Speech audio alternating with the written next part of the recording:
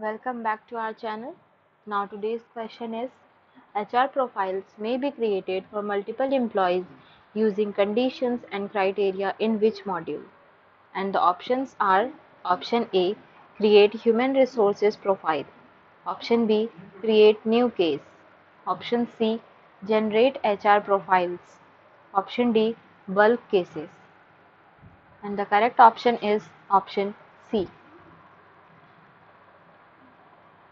My next question is user authentication and instance restrictions are example of what type of security? And the options are option A physical security, option B roles and groups, option C contextual security, option D platform access. And the correct option is option D. My next question is if the HR service does not have any case option specified, HR documents must be manually generated for the HR case. In this situation, who is able to generate an HR document for the case? And the options are option A any HR professional, option B only an HR admin, option C only an HR manager, option D only the assigned to person and the correct option is option C. When does the HR template populate information on the HR case form?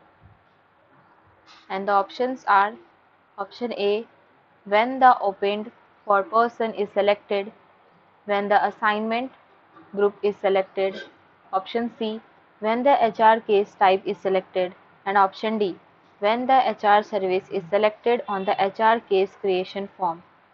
And the correct option is option D. My next question is the HR profile table is used to track information for what employment types? Choose three options. And the options are option A other, option B potential employee, option C full-time employee, option D temporary employee, option E spouse and option F contractor. And the correct options are option C, D and F.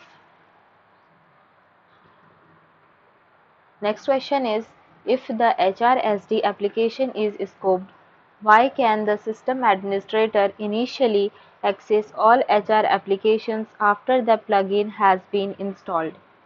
And the options are option A when the HR plugins are installed, the necessary HR roles are added to the admin role. Option B the roles were manually granted by a ServiceNow security user.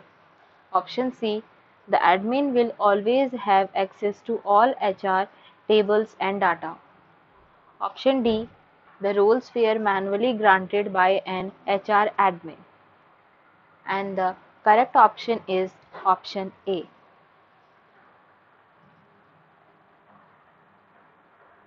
Next question is scenario.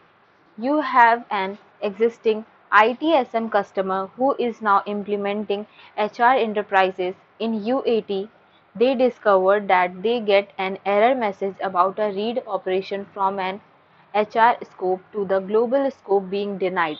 You have verified that each script include was written correctly.